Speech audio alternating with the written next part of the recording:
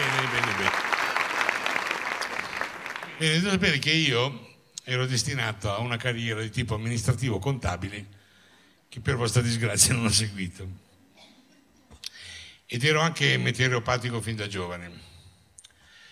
Per cui quei pomeriggi autunnali della Milano nebbiosa, in queste case anni 30, che avevano ancora negli anni 50 la luce bassa, vi ricordate, i corridoi lunghi.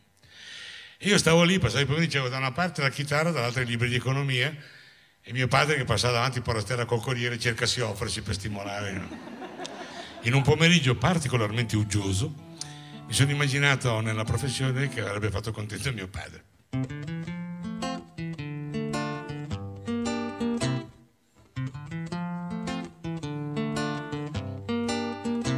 Non mi piace suonare il contrabbasso, né cercare un po' di gloria nel successo.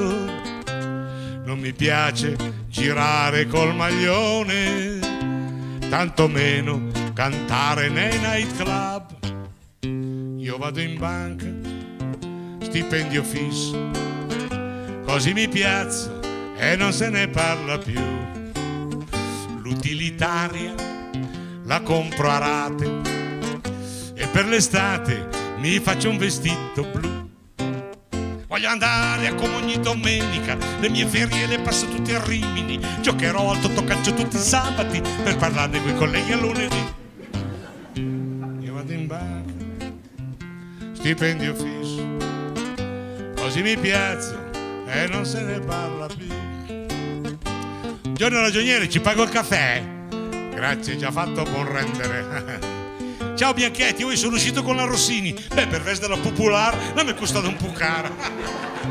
Ciao Luigino, questa sera c'è un'orgetta, sei dei nostri. Vabbè, quanti siamo? E se porti tua moglie siamo in tre. Faccio un colpo di vita e vado a Tunisi o in un club vacanze Costa Ionica. Faccio un sacco di foto donne frivole, quest'inverno le proiettiamo al Kral.